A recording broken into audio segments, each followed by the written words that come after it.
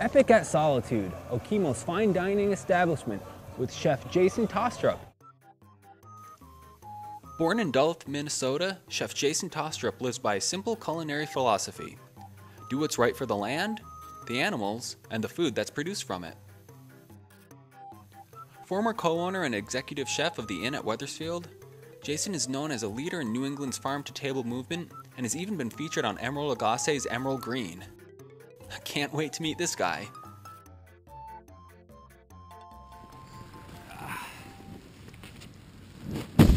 Hey, what's up, Tim? Chef Jason.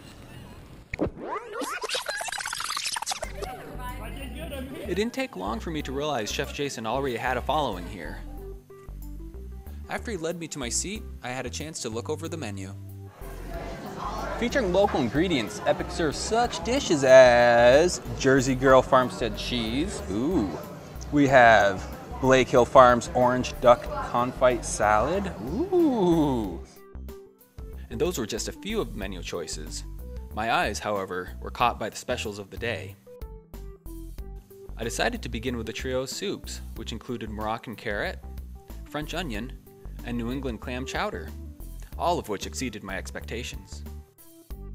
While I enjoyed my soup, Jason worked on the main course a trio of swordfish, rack of lamb, and braised short ribs.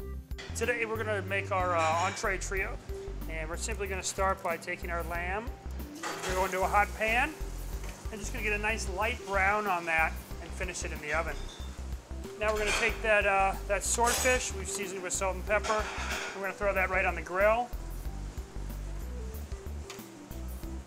And then for the third component, we're going to take that um, short rib and we're going to do a little Korean barbecue sauce right over the top. And we're going to bake that into the oven. As the entrees cooked, Jason prepared the sides. As soon as they were done, Jason hand delivered them.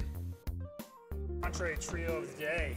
Black Watch Farms, slow braised short ribs, hot date rack of lamb, and then grilled swordfish with caramelized beets and a ginger orange. Enjoy. Thank you. Again, all three entrees exceeded my expectations. You can really taste the time and care Chef Jason puts into everything.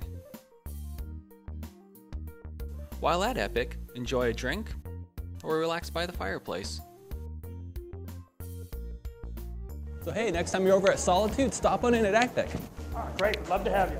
Yeah, hey, my compliments to the chef. All right. Have a great day. Peace out.